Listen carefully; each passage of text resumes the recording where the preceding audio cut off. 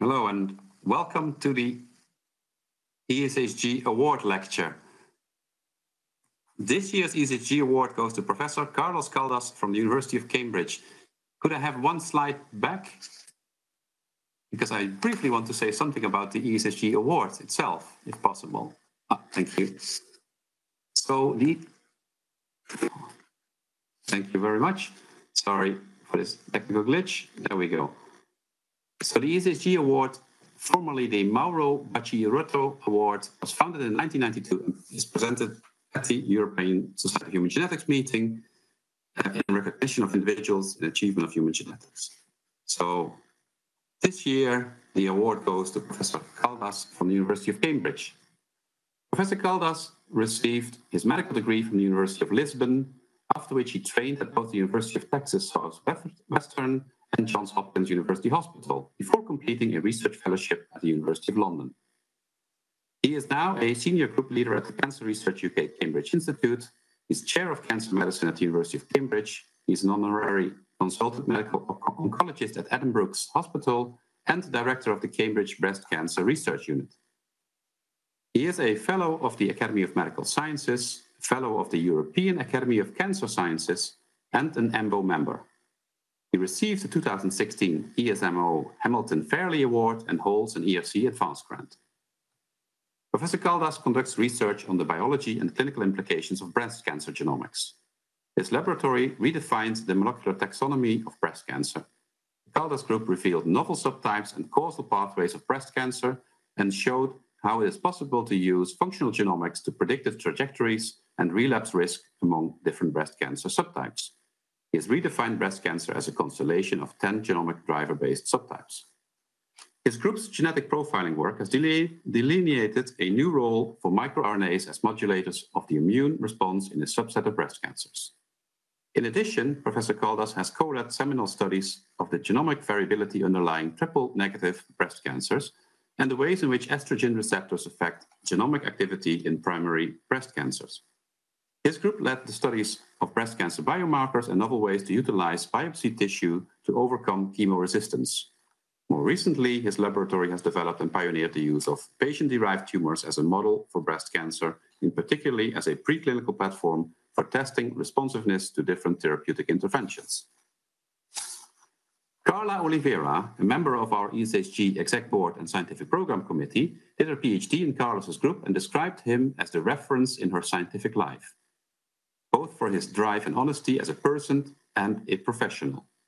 According to Carla, Carlos is always excited about research, new projects and ideas, and he will always prioritize the good working environment in the laboratory over a bunch of exceptional students competing with each other. He loves his family, Portuguese food, and of course, his football club, Benfica. The ESHG wishes to recognize Professor Carlos Caldas for his pioneering functional genomics research in breast cancer he and his team have contributed enormously to our understanding of the biology of breast cancer, resulting in better ways to diagnose and treat this debilitating disease. The ESHG Scientific Program Committee considers these contributions to be of major importance to our field of human genetics and beyond. I want to personally congratulate Professor Caldas with the ESHG Award, also on behalf of Professor Maurizio Genuardi and Professor Alex Reymond, and I look forward to your presentation of the ESHG Award lecture. Professor Carlos, the floor is yours.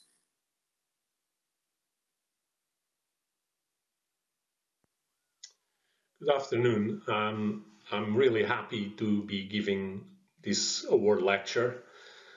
Um, I'm sorry that this is uh, done recorded, uh, but here we are with the pandemic. Uh, I'm really grateful that the European Society of Human Genetics has given me this award, of which I have I am, of course, uh, very honored and, and very proud to receive.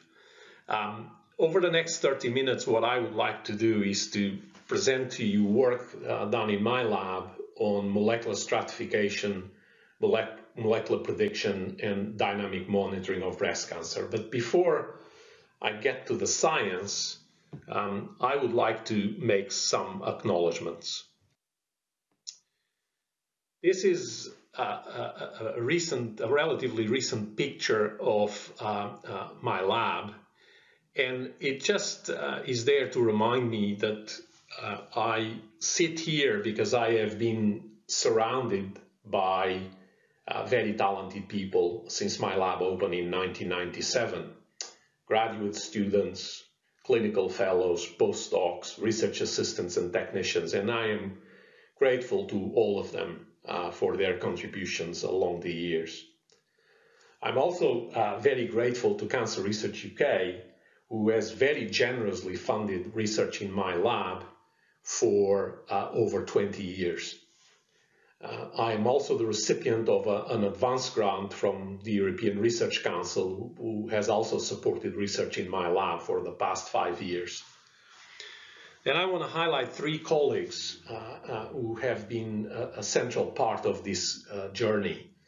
Uh, Sam Aparicio um, was a colleague in Cambridge and then moved to Vancouver, where he has been for over 12 years, but we've continued to work together.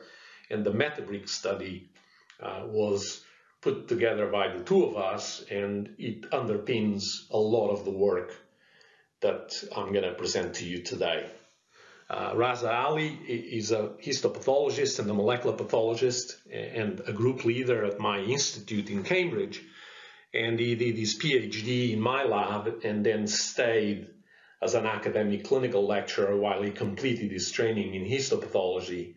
He then went to Switzerland where uh, he did a postdoc for a couple of years before he was recruited back to Cambridge, and we continued to collaborate.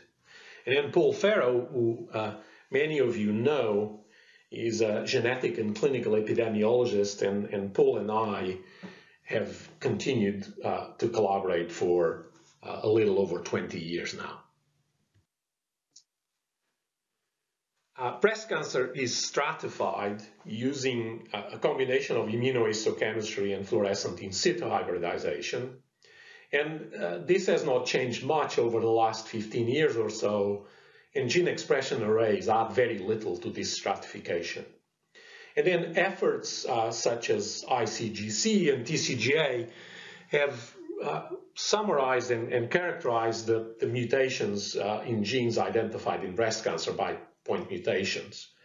And, and there are only two or three genes that are mutated in 10% or more of cases, and a handful mutated in more than 5% uh, of cases. And this is summarized on the right on this panel from Nelly Polyak in, in Cancer Cell, where she highlights that the large majority of breast cancers are ER positive luminal-like.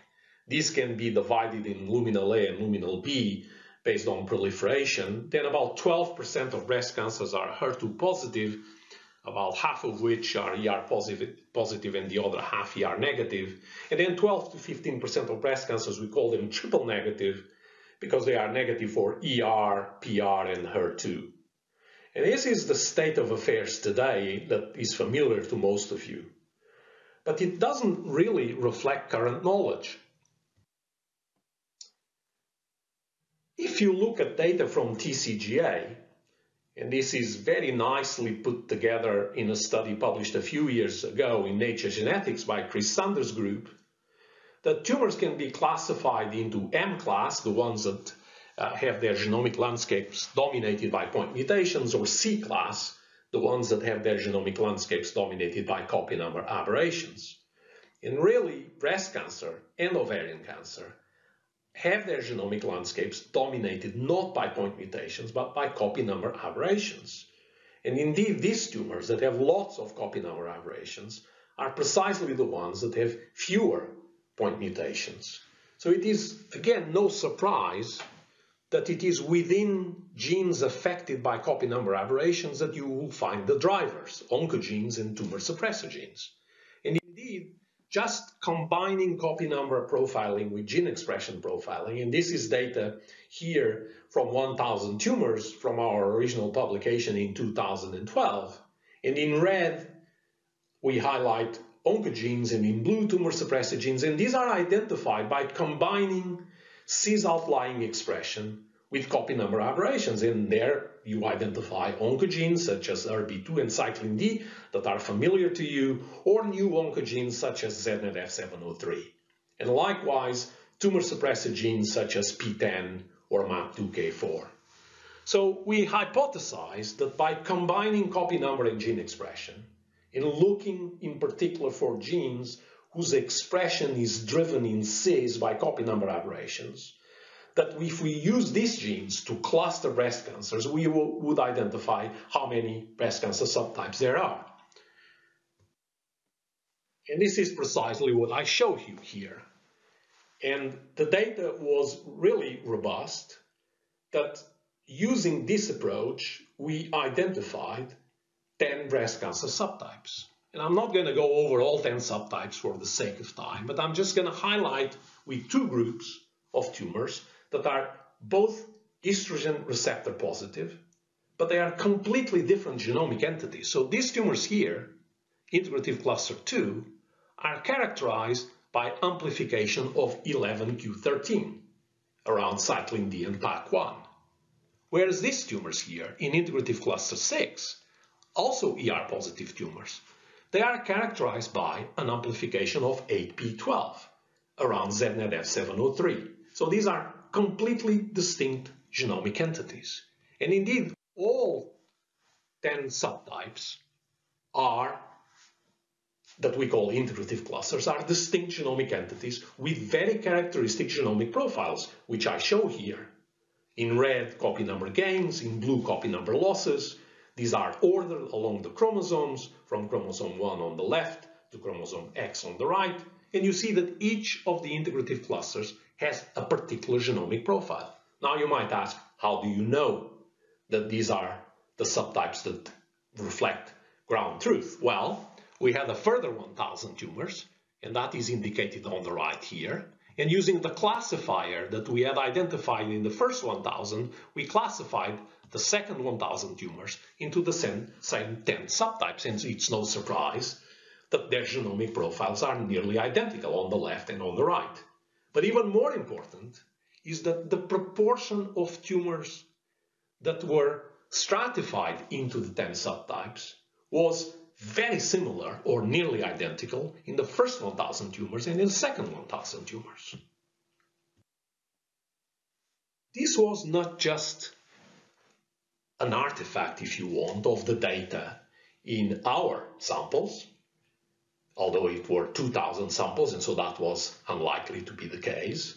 But we looked at a further 7,500 samples that were available at the time, this was work done by Raza Ali when he was in my lab, about 40 different studies. And using a classifier to classify the tumors into the 10 integrative clusters, he classified the tumors into each of these studies into the 10 integrative clusters. And as you can see, not only did he identify the 10 subtypes, but when he agglomerated the data, the proportion of tumors classified into the 10 integrative clusters was very similar to what we had originally described in 2012. So these are very robust genomic entities. Not only that, but if you stratify tumors into the integrative clusters and you look at their prognosis, or you look at whether they predict response to neoadjuvant chemotherapy, the bottom panel, you see that they are highly informative. The Kaplan-Meier curves on the top show the survival of tumors classified into the 10 integrative clusters, actually 11, because we realized later that tumors in integrative cluster 4, which are tumors with fewer copy number aberrations, no, need to be stratified into ER positive and negative because they are very different entities, uh, as you can see here, even by their survival curves. And you identify good prognosis integrative clusters on the top, poor prognosis uh, uh, ER positive tumors here. The tumors in purple are the triple negative basal-like from integrative cluster 10, and the tumors in brown are the HER2 positive breast cancers. And this is a very poor prognosis here, reflective of the fact that these tumors were prior to the availability of trastuzumab.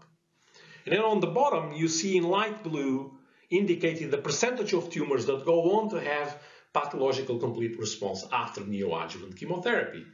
And so, for example, it's no surprise that basal-like tumors are much more likely to have PAT-CR versus the ones that are luminal A.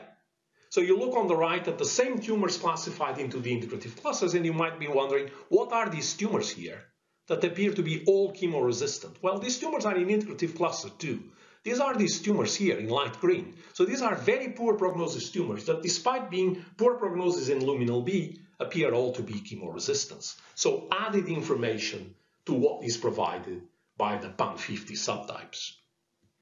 This is also illustrated in terms of prognostication, and I don't have time to go into all of the details. We published this in 2019, and I actually highlight here triple-negative breast cancers. And we asked the question, triple-negative breast cancers that are relapse-free at five years are highly likely to be cured, but they are not all cured. And this is indicated by the green line here. And at 20 years, about 15% of the patients will still relapse. And this is what happens if they are classified as triple negative. Now, if you stratify them into integrative cluster 4 and integrative cluster 10, you see in black the dramatic difference. Whereas in tumors classified as in, at integrative cluster 10, if they are relapse-free at five years, the chance of relapse up to year 20 is less than, is around 5%. The tumors classified as integrative cluster 4, equally triple negative, if they are relapse-free at five years, you cannot tell these patients that they are cured because up to 20% of these patients will still relapse up to year 20. Highlighting again the importance of stratifying into the integrative clusters versus the classical in, uh, intrinsic subtypes or, or immunohistochemical subtypes. These tumors have also very distinct copy uh, uh, mutational profiles. Now, we could not afford at the time to do whole exome sequencing, so we used a gene panel. The genes were very carefully selected, and we only missed a couple that we now, in hindsight, should have included, like estrogen receptor gene and FOXA1. But leaving that aside, these genes were carefully selected, and indeed we enriched for mutation drivers. And out of the 170 genes that we profiled, 42 met the criteria to be called mutational drivers. And here is the pattern of mutations of these mutational drivers in tumors stratified into the 11 integrative clusters now by separating integrative cluster 4 into ER positive and negative. And you see that they have very distinct mutational profiles. And I highlight this with one gene uh, for the sake of this audience, which is BRCA1. And BRCA1 germline mostly, and the few somatic mutations that we identified, concentrate on tumors classified as triple negative basal-like in integrative cluster 10.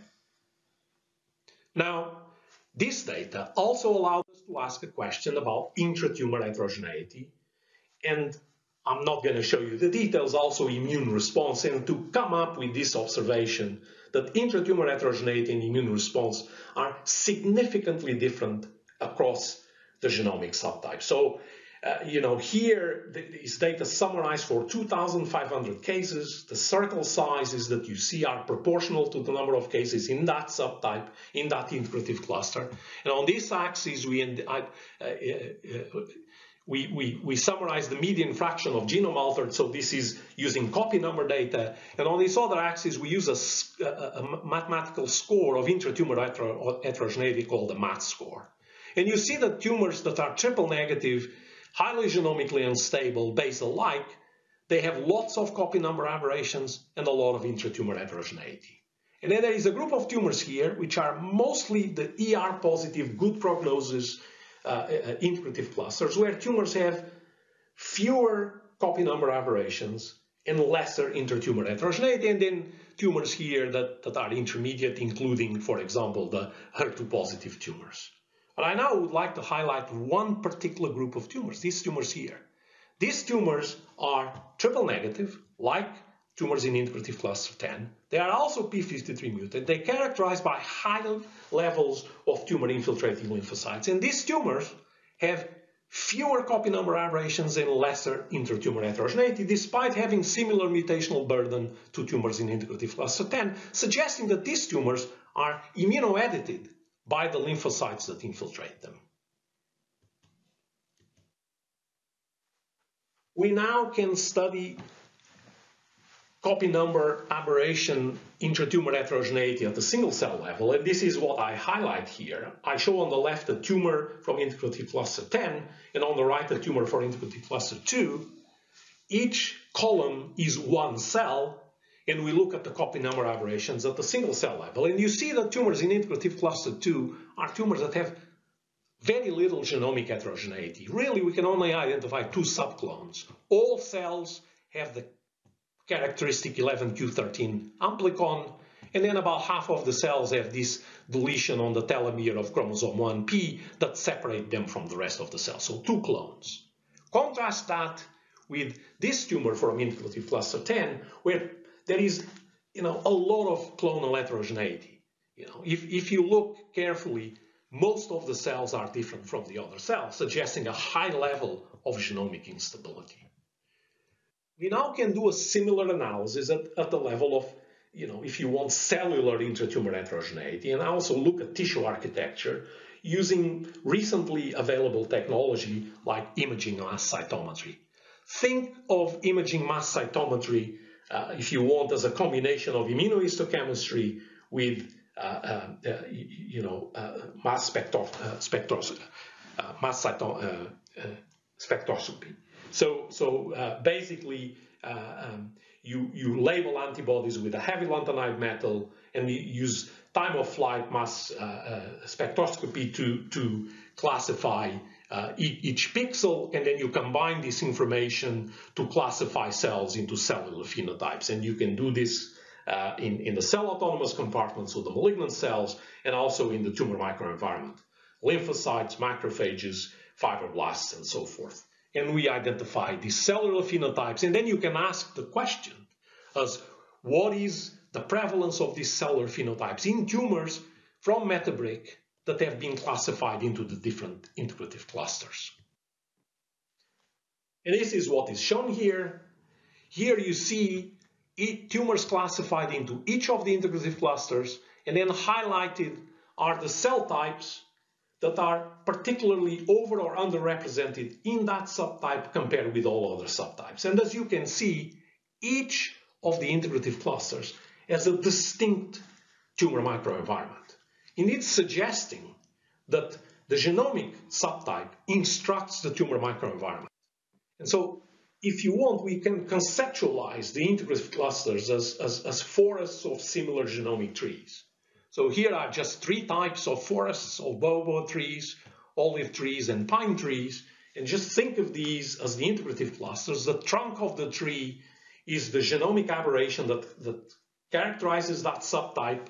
And then, you know, there will be trees that grow more than others with more or less branches the tumor microenvironment is the soil and the atmosphere. And so you can start seeing that an olive tree does not get transformed into a pine tree and vice versa. The tumors maintain their genomic characteristics, but might have different degrees of, if you want, uh, genomic phenotypes and actually cellular phenotypes.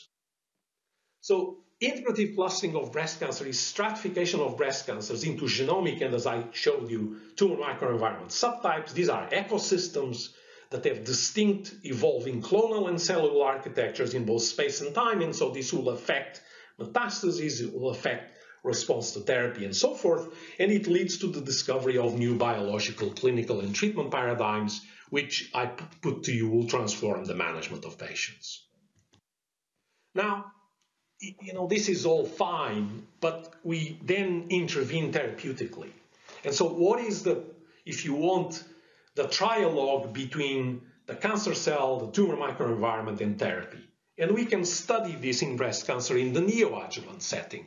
In the neoadjuvant setting, you get a biopsy to establish the diagnosis, then you start chemotherapy, and then you get surgery at the end. And so you can objectively tell whether a tumor is sensitive or resistant to chemotherapy. You can do, also do biopsies in the middle of therapy. So you can ask what happens to the tumor while it's still in situ as it is perturbed by chemotherapy. Now, the baseline characteristics of the tumor will determine to a great degree whether the tumor is going to respond or not. So tumors with more mutations are more likely to have pathological complete response indicated in green here.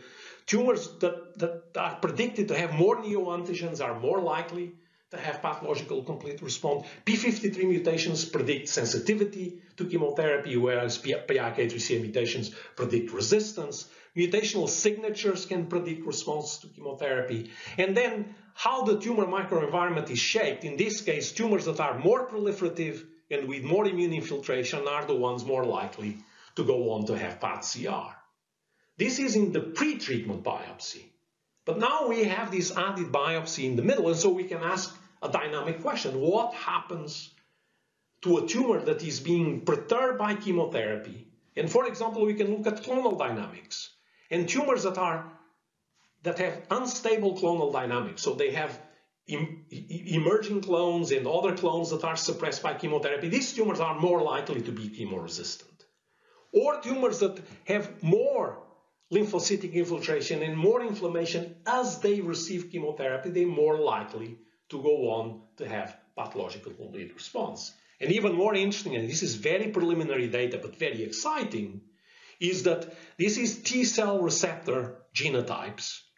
And tumors that go on to have PAT-CR are more likely to have oligoclonal expansion of CDR3 uh, clonotypes than tumors that are resistant and are less likely to have oligoclonal expansion of T cells. Now, liquid biopsies can be used to monitor these dynamics. This is just one example of work that we uh, contribute to, to, led by Muhammad Murtaza that used to be in Cambridge and is now in the United States. We're using liquid biopsies to look at circulating tumor DNA. We can measure these dynamics and see that tumors that go on to have PAT-CR are more likely to have a drop in their circulating tumor DNA levels. So this ability to monitor dynamically and the fact that we conceptualize tumors in integrative clusters as belonging of forests with similar trees led us to this concept of what I call anticipatory genomics. And, and I just want to give you one example here of one patient. This patient had a primary tumor, then he had a metastasis, she had a metastasis with a biopsy in the supraclavicular fossa lymph node, then another metastasis, a year or two later in the axilla, and then a, a, a different metastasis in her breast uh, uh, three years later. And indicated in red are the liquid biopsies that we obtained in this patient so we could measure circulating tumor DNA. And in actually one of these biopsies, we were able to get enough uh, uh live tissue that we could establish a xenograft. So now we have a xenograft from one of the metastases in this patient. And we can ask the question, when we serially passage the xenograft, which is indicated here, what are the clonal dynamics? In other words, is there any clonal evolution here? Are there any copy number gains or losses that appear or disappear? And then we can ask along the history of the tumor. So this is the primary tumor here, and these are four consecutive visits the patient had where we got circulating tumor DNA. And look at this, it's quite remarkable. On visit 15, which is late visit uh, uh, when the patient had lots of metastases, you see lots of copy number aberrations can be identified in circulating tumor DNA. They're very similar to the ones that we identify in the xenograft that was obtained uh, a year before uh, the patient eventually died of metastatic disease. So this is the concept of anticipatory genomics is can you use xenografts and liquid biopsies to predict how a given tumor is going to evolve as a result of just spontaneous clonal evolution or selective pressures such as the ones exerted by chemotherapy. And so I would like to finish on that note and to summarize by saying that breast cancer, I hope to have convinced you, is a constellation of 11 different diseases with distinct copy number aberration drivers, prototypical point mutational landscapes, prototypical tumor microenvironment landscapes, that clonal heterogeneity is one of the features, the type of clonal heterogeneity that you identify is one of the features of each of the integrative clusters, and that they also have very distinct clinical courses. And here is a summary of the, you know, key papers over the last uh, 10 years that summarize this work. And again, I want to uh, finish by uh, again saying that I am really deeply honored to uh, receive this distinction and that uh, uh, I hope the, lecture that I've just given you highlights the work that probably uh, uh, was the reason why the society decided to give me this award. And I want to thank you all uh, for your attention.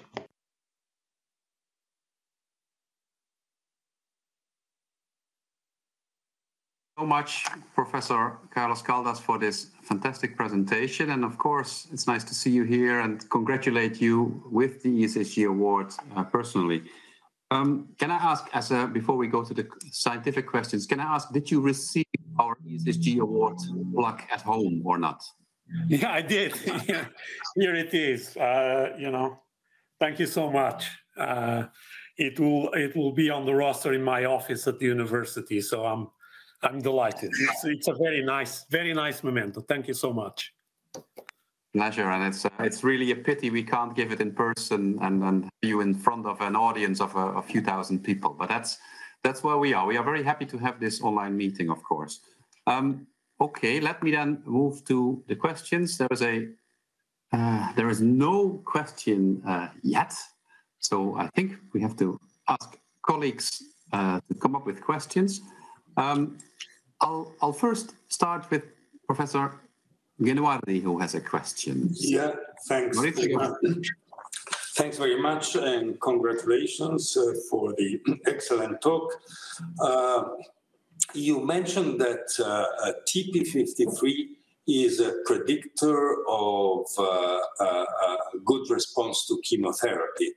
Uh, on the other hand, uh, it is associated with TNBC, which is uh, a mm-hmm. cancer that has, in general, a worse prognosis. How can you reconcile these apparently contradictory findings? Well, thank you for that question. This is something that sometimes puzzles audiences because you are absolutely correct. Tumors that have P53 mutations, be it ER negative, which is the majority, but also ER positive, the P53 mutation confers a worse prognosis. But it is also a predictor of response to chemotherapy. And why is that? I think for two reasons. Two, tumors that have P53 mutations are more likely to be proliferative, so more sensitive to chemotherapy. The second reason is that P53 is a guardian of the genome of, uh, you know, checkpoints and if you don't have the checkpoint there and then you hit cells with chemotherapy, they're more likely, if you want, you know, I don't want to call it synthetic lethality, but it's effectively a functional equivalent of synthetic lethality. The fact that they have a P53 mutation, no checkpoint, the cells can progress to mitotic catastrophe, for example, and if you expose them to chemotherapy. There's a third reason, which is the interaction with the immune system. This is poorly studied and you need large numbers or functional studies that are difficult to do. But it looks like a, a tumor cell that has a P53 mutation, probably because of the existence in the cytoplasm of DNA with double strand breaks and so forth, that they will activate uh, an immune response through uh, you know pathways of uh, immunogenic cell death and, and and others. And the interaction between the existence of, of cell-free DNA, of, of not, not cell-free DNA, cytoplasmic DNA with DNA damage, and that, you know, inducing DAMPs and other things that will then have a dialogue with the immune system. So, so it's a complex uh, thing. But yes, tumors with p53 mutations are more likely to respond to chemotherapy. Okay, thank you. I'll go on to a number of questions which are now coming in on the chat. So the first one from Ines Zuter.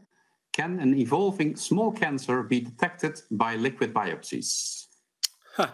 okay, uh, that's uh, that's a question that I get very often.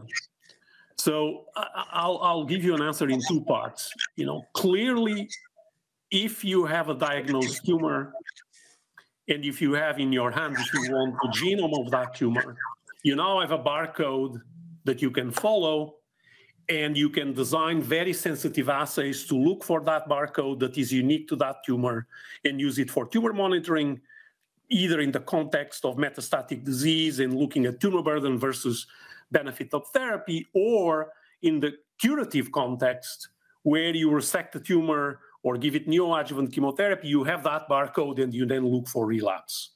And there, there is a lot of promise. Uh, and the work of my group and all the groups has clearly shown that. Now, what you're asking is a bit different, which is in a woman in the population for which we have no tumor biopsy at all, can we use circulating tumor DNA as an early diagnosis tool? And the answer, the short answer is in theory, yes, that is possible. The practical answer is that although that is possible, that is extremely difficult to do at the moment because you, you need to think about the needle in the haystack problem. And moreover, you don't even know how the needle looks like. So, so, so it is very difficult to design. And now, having said that, there is data with DNA methylation modification, so where you, you methylate uh, uh, cytosine residues and you can detect them using uh, you know, technologies such as bisulfite sequencing or even antibodies to immunoprecipitate the methylated residues, whether there are methylation signatures that are diagnostic. So it is a field of great interest, uh, uh, and, and, and people will certainly uh, my group and other groups have invested a lot in this, but we need to wait for the result of, of trials, and, and this is going to take time. Okay, fantastic. Um, then we'll um, move on. I saw a question actually from Carla Oliveira herself. Thanks for this inspiring lecture. How long do you think it will take to bring these data into everyday clinical practice? Well, that's again a, a very interesting question. Um, we maybe naively, myself and Sam, decided when we started the METABRIC study that it would be run by with the Bermuda principles. In other words, we would generate the data, not file any patents on it, and make the data available to the community. And I'm delighted to say that the raw data has been downloaded by literally hundreds of groups the uh, um, EGA at EBI did a piece on it a few months ago. It's it's the data set that is most accessed, uh, or one of the most accessed data sets that they have. And there are literally, you know, thousands of, of publications that they've used the data in its processed form. So, um, you know, that created a difficulty because since we did not have a patent for the integrative clusters, the appetite of diagnostics companies to take over this and and and design a test, as you can imagine, is is not very high. Uh, and, and the diagnostics market is a difficult one. Now we're trying to design an academic test that could be used in paraffin embedded material. We have struggled with it a bit because it's difficult to design diagnostic tests using paraffin embedded material. And we are not a company, we are an academic lab. But we're persevering and as soon as we have a panel that can use DNA extracted from paraffin embedded material, we'll make it again available to everyone to use. Yeah. Thank you. Um, then I'm going to the next question from Nicoline Hoogerbrugge. What a super lecture. Do you foresee that this type of, cancer, of tumor classification will find its way into diagnostics in the clinic? Well, we basically talked about this. So um, a question, further follow-up question from Ines Zuters. She asked whether early cancer is distinct from later stage disease. It's a very mm. general question. I don't know if you want to answer that. Yes. So that is a very interesting question. I don't want to preempt unpublished work, but you know, people have heard me talk about this before, so it's no trade secret. if you look at DCIS associated with invasive tumors classified into the integrative clusters, you will not be surprised to hear that the DCIS at the copy number level, you can see there the truncal lesions that you then see in, in the invasive tumor. So I think these remain, as I use the image of the uh, forests of similar trees, they remain, you know, the tumor cells, all tumor cells will have the truncal copy number aberrations that define the integrative cluster. So they don't move from one to the other. Now, there might be tumors where there is more than one clone and one dominates in one time of the natural history of the tumor and then later at the real. But that is the exception, not the rule. We and others have looked. We, you probably saw our paper with an autopsy series of a limited number of cases, but lots of biopsies uh, more than 100 in 10 patients uh, that, that you know, the, the integrative clusters stay. So these are like the tree. Now, how the tree then evolves, there is, I think, some canalization of the possible evolution. That's the concept of anticipatory genomics. And, and, and, and so we, we think that eventually there will be a rule book, like uh, Charlie Swanton talks about, the rule book of, of, of tumors, uh, that, that we will be able to predict with a certain degree of certainty how a particular tumor is going to evolve and how clones are going to be selected by therapy and by the immune response and so forth. So thank you for that question. Thank you very much. There's a number of additional questions coming in now, but we have to close in a few moments. Um, one question from Joaquin Makeda. Fascinating work. Thank you for your presentation. Do you believe these genome-driven integrated clusters can be applied in hereditary breast cancer? Well, so as I indicated with BRCA1, there are, it's just that's one example. But what I think is going to be needed, and you know, I'm I'm going to be cautious here because I'm talking to an audience of of geneticists. But a lot of people have critic, criticized unfairly genome association studies, and you know, work of Paul Pharoah, Doug Easton, and others has clearly shown the value of, of association studies to identify predisposition alleles. I'm not going to tell that they are predisposition genes in the classical sense of BRCA1 and BRCA2. And so my prediction is that you really need to do an association study for each of the 11 integrative clusters, uh, because I think that there will be nuances of the genetic deck of cards that you handed at birth that will predict, you know, you will be more predisposed to have a cancer of one of the integrative clusters. So that that is fascinating, and it's you need to phenotype these tumors. You know, you guys are geneticists, so you this is no foreign to you. If you don't have a very good phenotype, and so these are 11 different phenotypes, and so if you mix phenotypes, you're going to have a hard time identifying the predisposition alleles. And so that is the proof of principle of that is with ER positive versus negative. But I just showed you that ER positives are extremely heterogeneous, you know, and so are ER, ER negative. So you need to do an association study for each of the integrative clusters, I would say. Okay. Thank you very much, Professor Caldas. There are more questions, but we have to move to our next and final uh, award session. So again, congratulations with the ESHG award on behalf of, of, of everybody here at the ESHG.